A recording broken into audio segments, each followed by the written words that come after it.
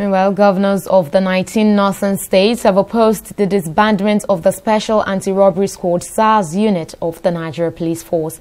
Plateau State Governor and Chairman of the Northern Governors Forum, Simon Lalong, disclosed this to State House correspondents after a meeting with President Muhammadu Buhari in Abuja on Thursday. According to Lalong, SARS has been useful in the fight against insecurity in the region and only requires reformation to enable it to discharge its functions optimally.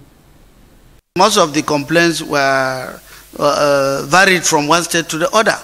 In one aspect, some, when people said they don't want SARS, in some states they are saying they want SARS. They want SARS. With reform, a reform SARS. They want a reform SARS because as far as they are concerned, some of these SARS help them a lot in addressing their insecurity. So, but if there are bad ones somewhere, holistically you bring them together, reform them, and then you work, work with them. So our opinion and our conclusion at that stage was that let us not just say that we are throwing the baby with the bathwater. If there are good ones, you don't chase them away. So as SARS is banned, we are now looking forward to an opinion because most of the states in the north said no. They want SARS because SARS helped them. A lot of SARS people help them. Borno said if no SARS, he would not have been surviving today, Niger and all, uh, almost all parts. So if we are addressing it like that, what was wrong? Why is it wrong? What is go going wrong in some places? Is it the process of recruitment? Is it the character of the people?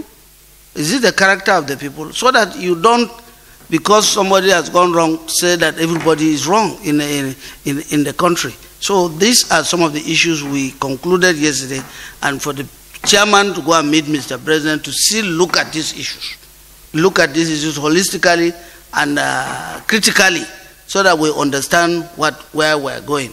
But on the whole, we all agree that there must be reform, general reform within the police. But also, you can't do general reform without proper funding.